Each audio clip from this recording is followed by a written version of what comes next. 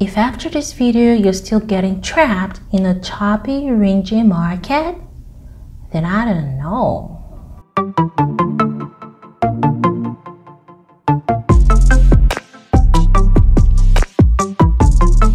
Alright beautiful people, welcome back. If you're new here, hello, welcome. Make sure to hit the subscribe button and turn on the notification bell so you're notified whenever I post a new video. So, in today's video, I'm going to show you a super simple way to avoid choppy ranging markets. All you got to do is go right here to indicators and type ADX, okay? Average Directional Index.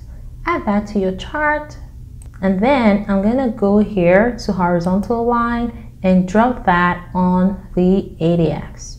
I mean, I have people who rather have their horizontal line on the 30 level, like right here, look to the right, on the 30 level, See it? And some would rather have it on the 20 or 22, 20 area. But personally, I prefer the 30 level. So I'm going to leave mine on like so.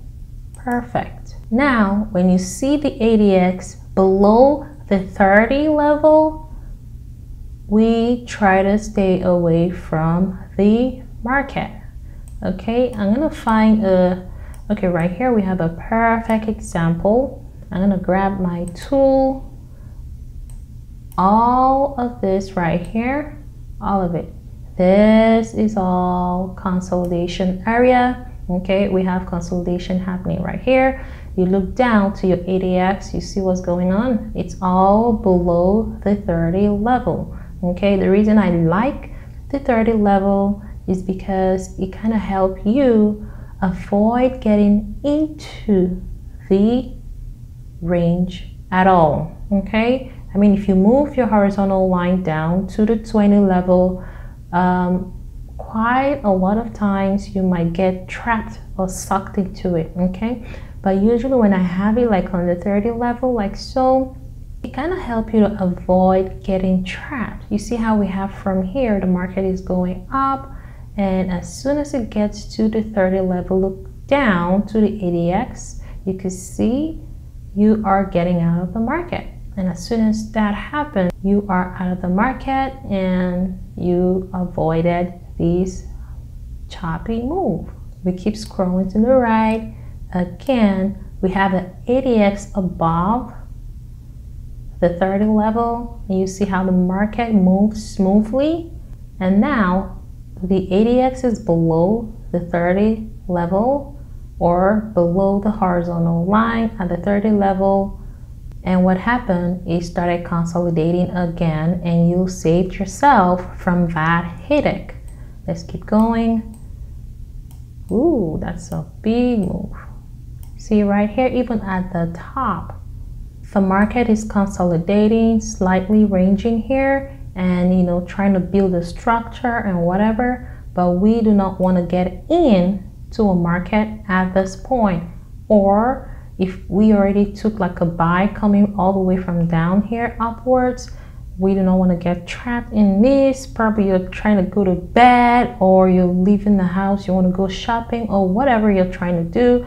You don't want to get trapped in a market like this. What if it's a 15 minute time frame and then you find yourself in a, you know a ranging market like so? You do not want to find yourself like that. So ADX saved you okay ADX saved you from that you know unnecessary anxiety.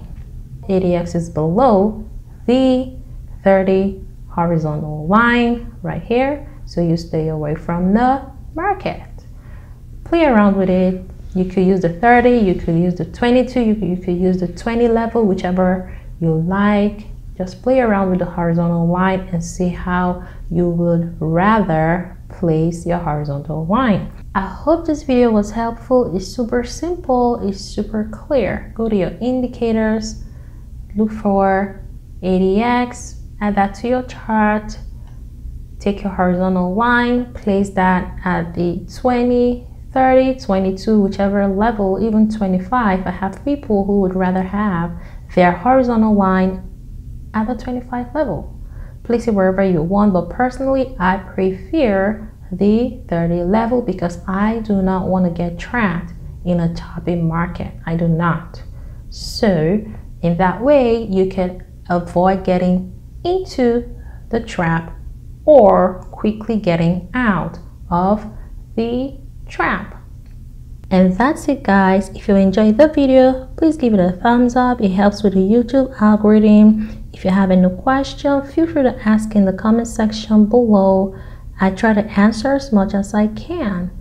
Thank you so so much for watching and I'll see you guys in my next video. Bye guys!